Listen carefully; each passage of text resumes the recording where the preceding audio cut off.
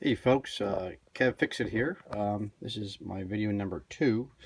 Um, if you remember, um, I had a problem my gun wasn't firing and it all came down to the problem of the bumper stop here had uh, broken. Uh, I pretty much conveyed many times in my first video about thoroughly cleaning your gun. Uh, here's pretty much all the debris, and that's not all of it, that I got out of my gun because this thing had shattered.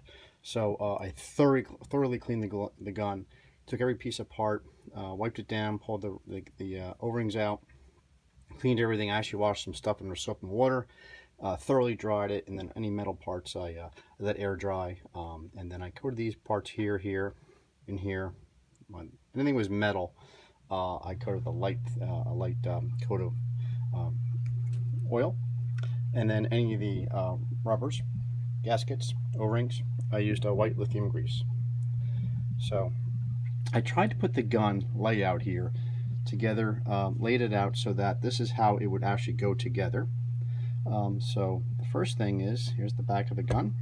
And why did I take this apart? Because there was actually plastic pieces in here, in the spring, um, very minute pieces, but I, I, thoroughly cleaned it. So the first thing is to take this, get this um, piece of rubber, and you'll see it has two sides. This side and the side has bumps little bumps. These little rings, little bumps here, go inside these holes here. So how do you align that? Well, I basically just took it upside down and uh, lined up where the where it should go, and then I marked it with a red red marker here, and also on the the gasket. So when I turned it over, I could align my marks. So you'll see there's a mark. Hard to see that little yellowish mark there aligns with that. Okay. Next thing is take this rubber, this uh, spring here, drop that in, just make sure my uh, thing is aligned again. Okay. Then I'm going to take my rear exhaust cover. Then I'm going to take my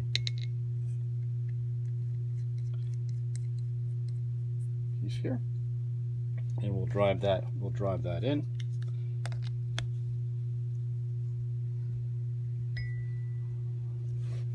Okay, pretty much got that down in there. I can tighten it later. Okay, gonna take this piece and put it to the side. The next is to take this. This is the rear bumper stop that had shattered. Okay, and that's how it looks. The part that sticks out is to be facing you. This part here, the indent, is going to go inside the rear exhaust. So I'm to turn this around. There we go. Before we put this like this into here, we need to take this metal ring and put it over here, the gun, or the, uh, the bumper stop like that. Then this entire piece goes in like that. And then the spring, here's the spring, spring goes in and it actually goes into a little groove there.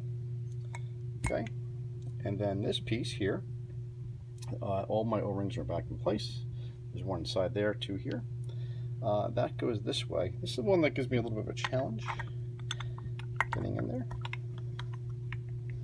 Really gotta mess with it to get it in there. But it will go once you can get it in there.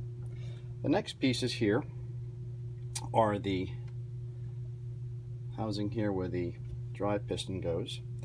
And here's the drive piston. So what I like to do is um, the um, uh, assembly of the gun uh, so this is the, the part, this part here is the one that's actually going to go inside the gun. Um, you see that cylinder is nice and clean now. So what I like to do is turn it this way. And I like to then take the piston and stick it in here. Okay. The reason I don't go the other way is because I don't want um, any issues with the with the piston actually causing um, problems